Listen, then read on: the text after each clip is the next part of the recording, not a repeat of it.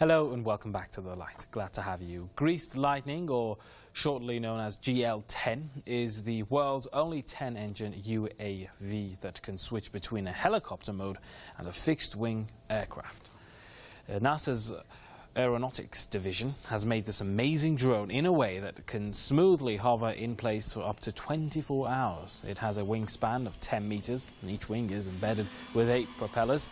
The two other propellers are on the tail. Both the wings and tail of the aircraft are moved to a vertical position when it is poised to take off like a helicopter. The wings then move into a more horizontal position to start a fixed wing flight.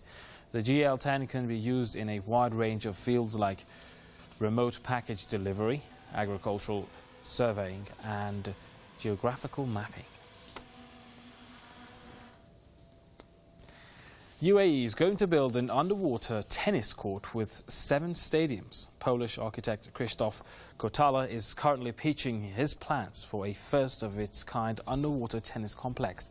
The amazing civil engineering project in Dubai includes seven arenas with clear roof structures to allow visitors to observe the water and marine creatures above them. Kotala says his project will be an enormous venue for tennis players to play for the audience.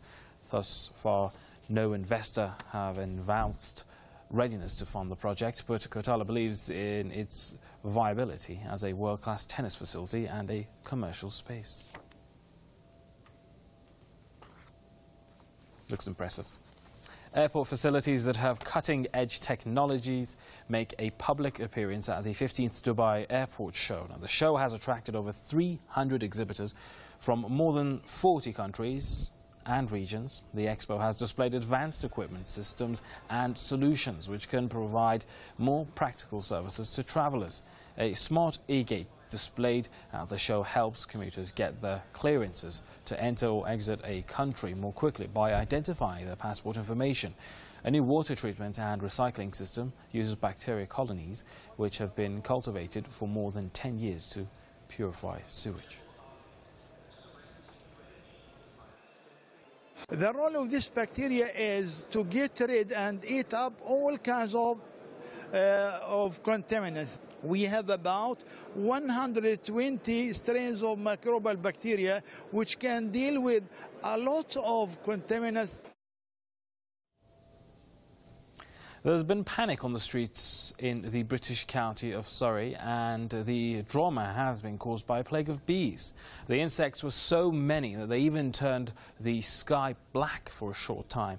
The large group of bees emerged out of nowhere, causing people to flee indoors to safety.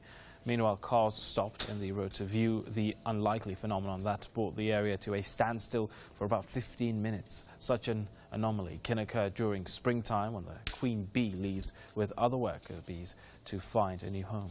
Is it just me or is it only our building? Well, there you go. That's it from the light and that's it from me. Goodbye.